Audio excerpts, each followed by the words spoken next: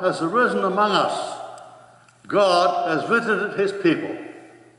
Good morning, and welcome to St. Luke's Cathedral on this, the ninth Sunday after Pentecost, for the service of the Word. The flowers on the high altar are given to the glory of God and in loving memory of Ryan Keller by Betty Cunningham and Kelly Keller. The grace of our Lord Jesus Christ and the love of God and the fellowship of the Holy Spirit be with you all. And also with you. Let us pray. We thank you, God, that you have again brought us together on the Lord's day to praise you for your goodness and ask your blessing. Give us grace to see your hand in the week that is past and your purpose in the week to come. Through Jesus Christ our Lord. Amen. Amen. Dear friends in Christ, as we turn our hearts and minds to worship Almighty God, let us confess our sins.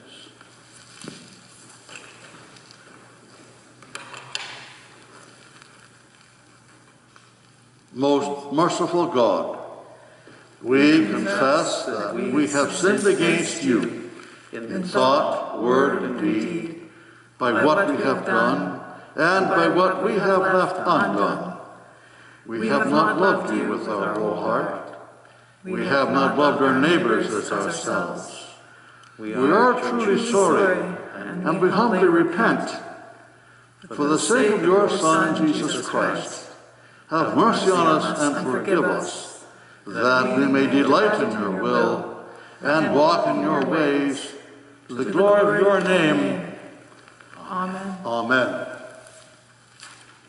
Merciful God, grant to your faithful people pardon and peace, that we may be cleansed from all our sins and to serve you with a quiet mind. Through Jesus Christ our Lord who is alive and reigns with you and the Holy Spirit, one God, now and forever. Amen. Amen. Our opening hymn this morning is hymn number 397. Praise the one who breaks the darkness. Number 397.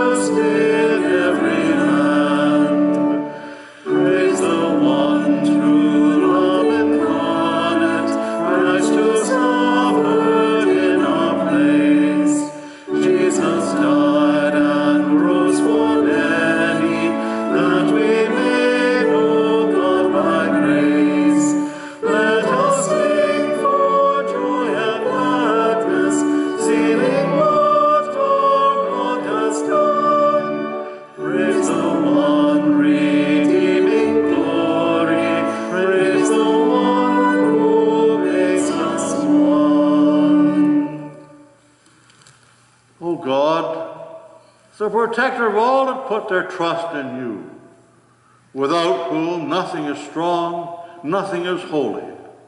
Increase and multiply upon us your mercy, that with you as our ruler and guide, we may so pass through things temporal, that we lose not the things eternal.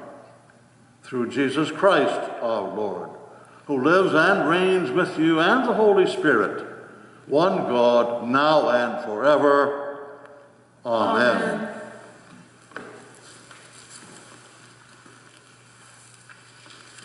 A reading from the second book of Samuel. In the spring of the year, the time when kings go out to battle, David sent Joab with his officers and all Israel with him. They ravaged the Ammonites and besieged Rabbah. But David remained at Jerusalem. It happened late one afternoon when David rose from his couch and was walking about on the roof of the king's house that he saw from the roof a woman bathing. The woman was very beautiful. David sent someone to inquire about the woman. It was reported, This is Bathsheba, daughter of Eliam, the wife of Uriah the Hittite. So David sent messengers to get her, and she came to him, and he lay with her. Now she was purifying herself after her period. Then she returned to her house. The woman conceived, and she sent and told David, I am pregnant. So David sent word to Joab. Send me Uriah the Hittite. And Joab sent Uriah to David. When Uriah came to him, David asked how Joab and the people fared and how the war was going. Then David said to Uriah, Go down to your house and wash your feet.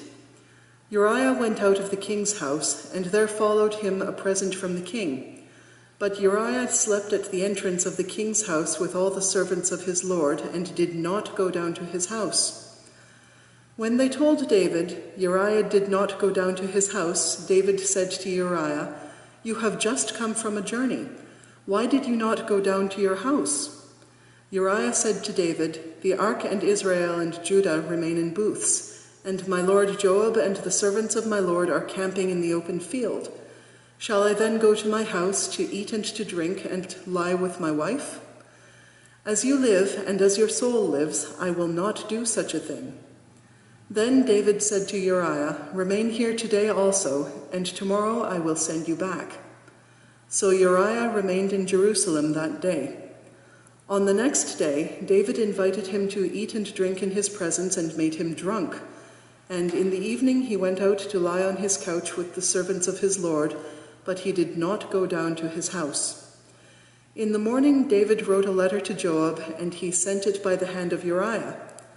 In the letter he wrote, Set Uriah in the forefront of the hardest fighting, and then draw back from him, so that he may be struck down and die.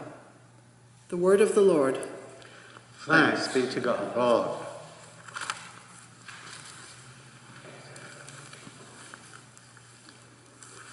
Psalm appointed to be read this morning is Psalm number 14. We'll read responsibly by the full verse. The fool has said in his heart, There is no God.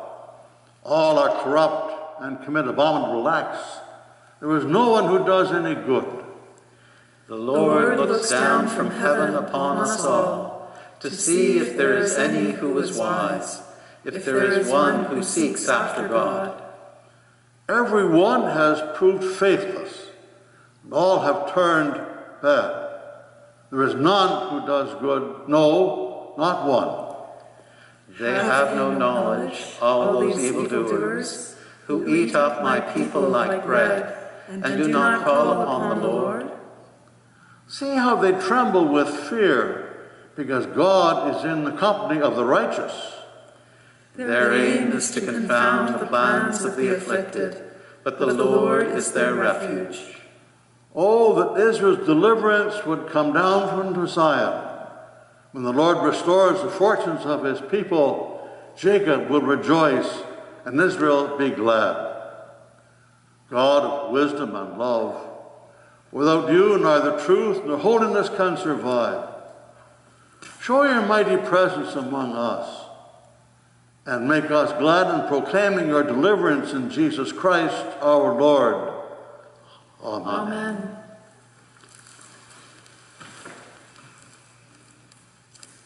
A reading from the letter of Paul to the Ephesians. I bow my knees before the Father, from whom every family in heaven and on earth takes its name.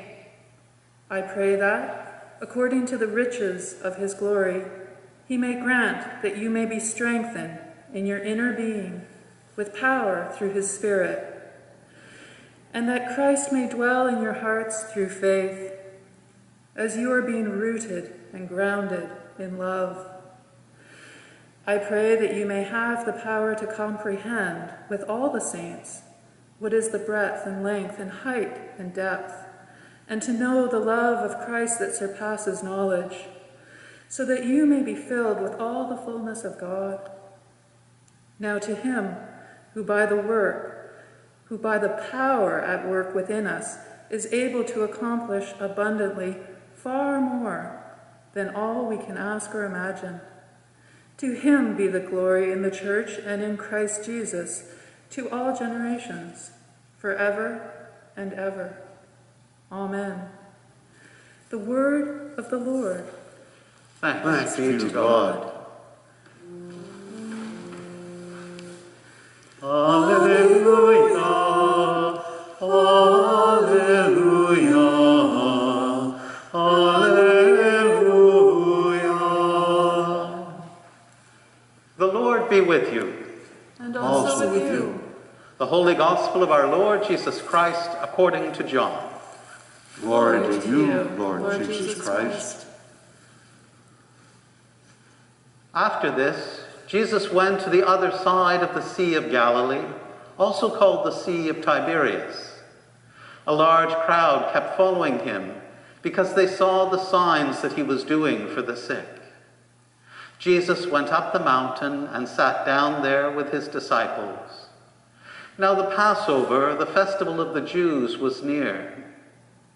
When he looked up and saw the large crowd coming toward him, Jesus said to Philip, Where are we to buy bread for these people to eat? He said this to test him, for he himself knew what he was going to do. Philip answered him, Six months' wages would not buy enough bread for each of them to get a little. One of his disciples, Andrew, Simon Peter's brother, said to him, There is a boy here who has five barley loaves and two fish. But what are they among so many people? Jesus said, Make the people sit down. Now there was a great deal of grass in the place, so they sat down, about 5,000 in all. Then Jesus took the loaves, and when he had given thanks, he distributed them to those who were seated, also the fish so, as much as they wanted. When they were satisfied, he told his disciples, Gather up the fragments left over, so that nothing may be lost.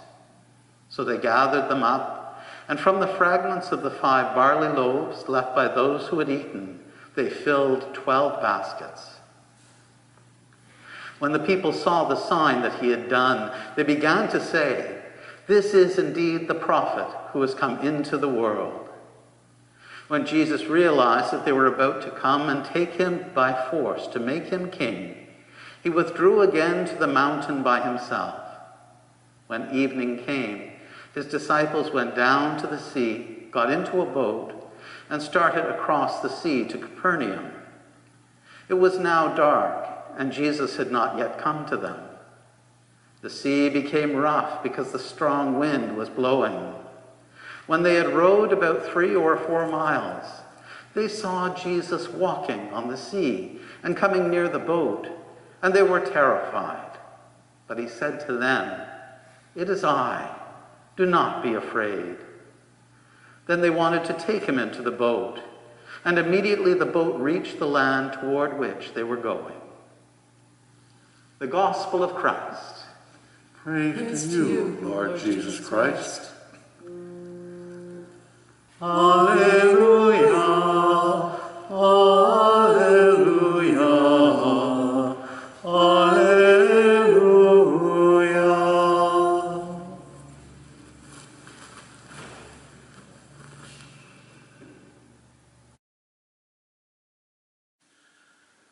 Words of my lips and the meditations of our hearts and minds be always acceptable in thy sight, O Lord, our strength and our Redeemer.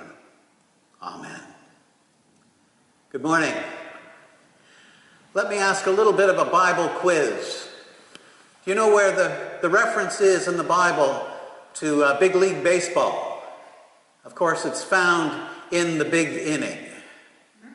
Or perhaps the reference uh, to motorcycles. The roar of David's triumph was heard throughout the land. Foolishness, of course, but I think it reminds us that we often ask the wrong questions of Scripture. We test Scripture in ways perhaps we ought not. And in fact, maybe what we should realize is that as we engage with Scripture faithfully as the people of God, it is Scripture that ought to test us. It is Scripture that ought to test us. And what kind of examination might that be? Uh, for some of us, we might anticipate that it would be a big, serious examination with long form essay questions in which we have to develop eloquent and deep and logical arguments and form robust conclusions that we can defend.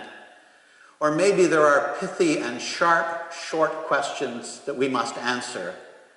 Or even perhaps more plaguingly, those troublesome multiple choice questions that you have to reply to, where you know if you look closely enough, the answer is right there, but you have to find it. We need to be tested by Scripture to follow in the way of our Lord Jesus Christ. And the Scriptures reveal that.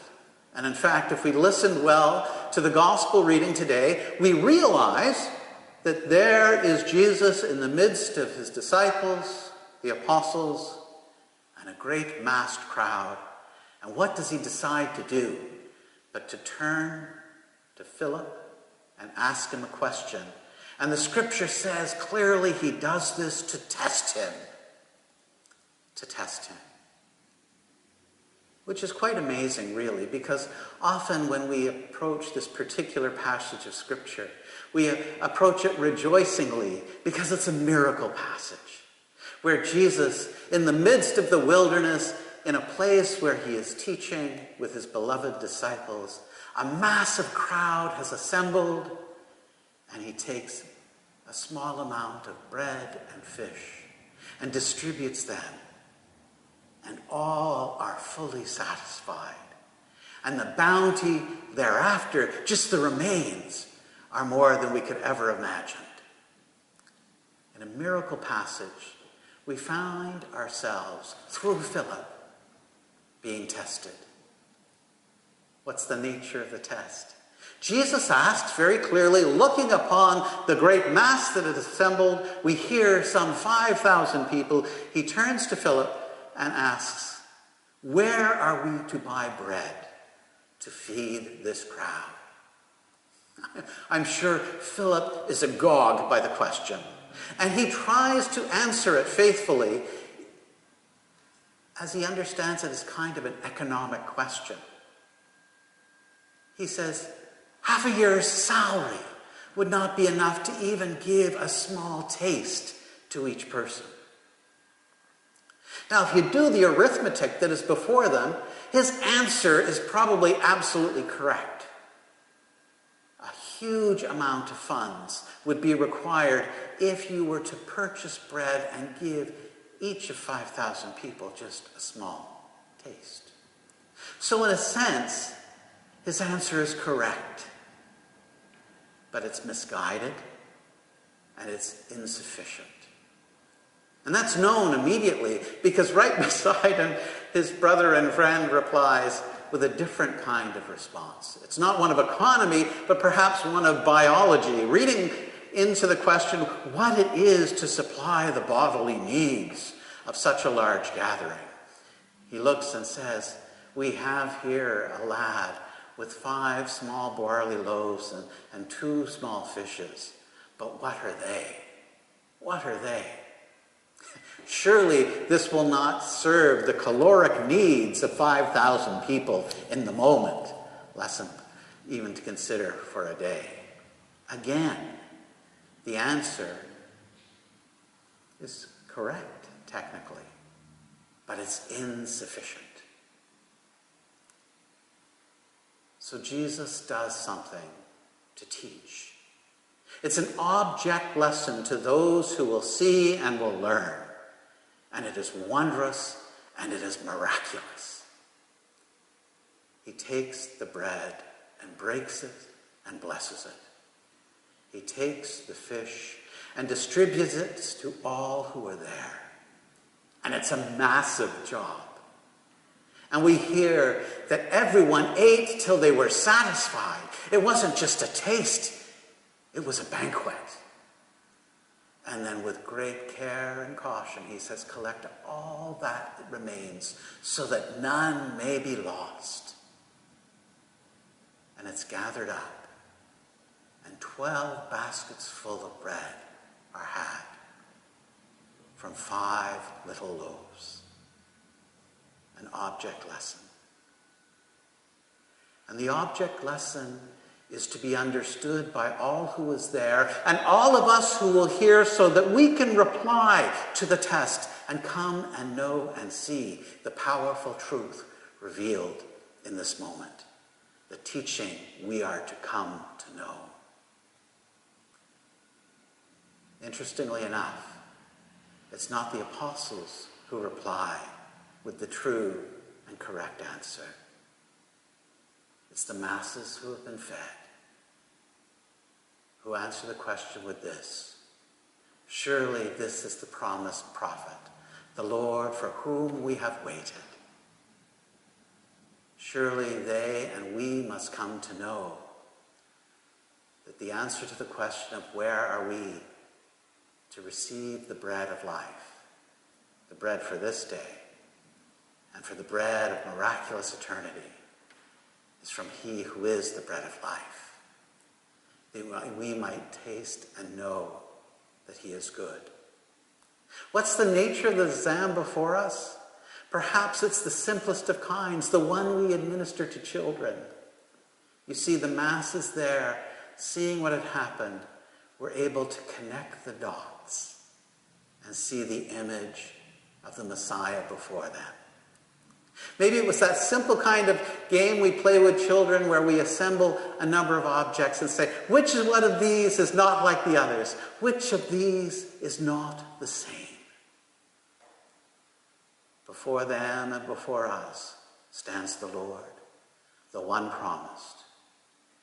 And the test for us is we, if we will see and know and let ourselves be fed. Perhaps Philip would come to realize in the moment the test for him was a memory game. Because when Philip first saw Jesus, he came and recognized and declared boldly in the first moment to his friends and loved ones We have found the Lord. We have seen the Messiah. Let us go and follow him. We ask ourselves this day in a world that hungers, in a world that yearns for healing, a world that yearns for justice and truth and peace. Will we allow the scriptures to ask us the question where will we find that which will give us what we need, the bread of life? Father, Son, and Holy Spirit. Amen.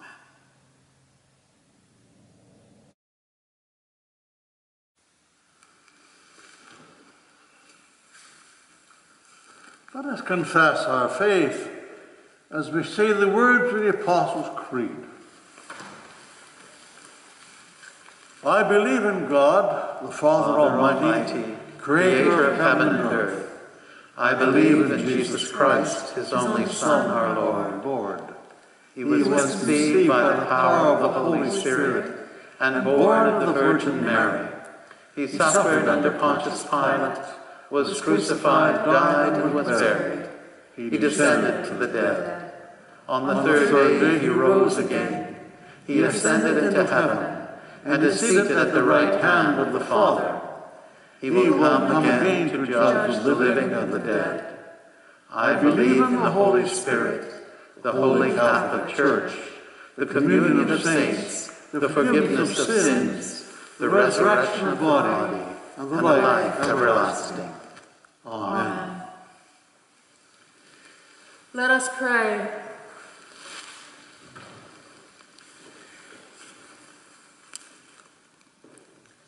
In peace, let us pray to the Lord, saying, Lord, have mercy.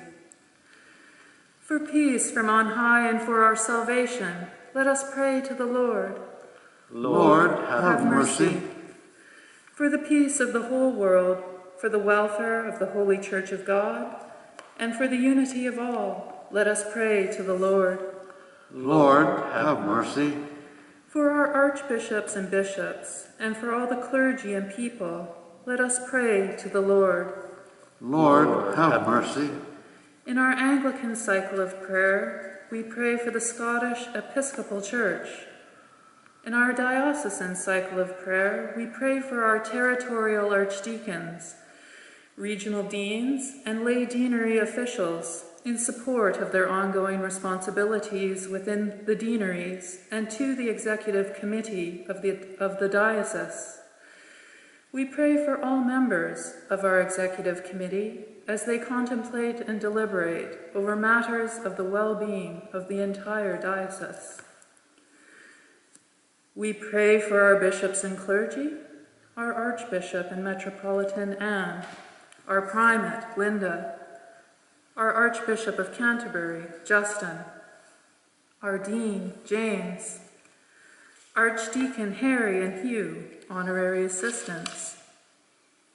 For those we hold in our concern, Steve and Rosie, Steve, Dorothy, Beverly, Elsie, Tina, Helen, Doreen, Ron and Dorothy. Let us pray to the Lord. Lord, have, mercy. For Elizabeth, our Queen, for the leaders of the nation, and for all in authority, let us pray to the Lord. Lord, have mercy. For our city, Sault Ste. Marie, and for every city and community, and for those who live in them in faith, let us pray to the Lord. Lord, have mercy. For good weather and for abundant harvests for all to share, let us pray to the Lord. Lord, have mercy. For those who travel by land, water, or air, for the sick and the suffering, for prisoners and captives, and for their safety, health, and salvation, let us pray to the Lord. Lord, have mercy.